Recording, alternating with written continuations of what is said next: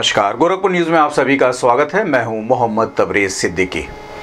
बागेश्वर धाम के बाबा पंडित धीरेन्द्र शास्त्री ने गोरखनाथ मंदिर पहुंचकर गुरु गोरखनाथ को पवित्र आस्था की खिचड़ी चढ़ाई, जिसके संबंध में बाबा पंडित धीरेन्द्र शास्त्री ने बताया कि यहाँ सीताराम भगवान की कथा चल रही है।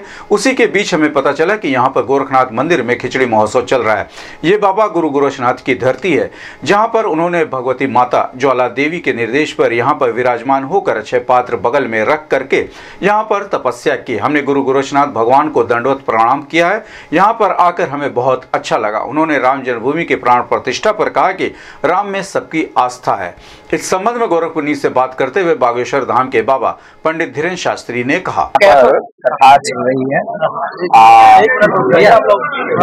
में श्री सीताराम भगवान की कृपा से कथा चल रही है। वो भव्य और दिव्य चल रही है और उसी मध्य में उनको पता लगा कि यहाँ पर हर वर्ष का खिचड़ी महोत्सव चल रहा है तो इसलिए जो है भगवान गुरु गोरखनाथ की तपोस्थली है यह जहाँ पर उन्होंने भगवती माँ ज्वाला देवी के आमंत्रण पर यहाँ विराजमान होकर के अक्षय पात्र बगल में रख करके उन्होंने तपस्या की।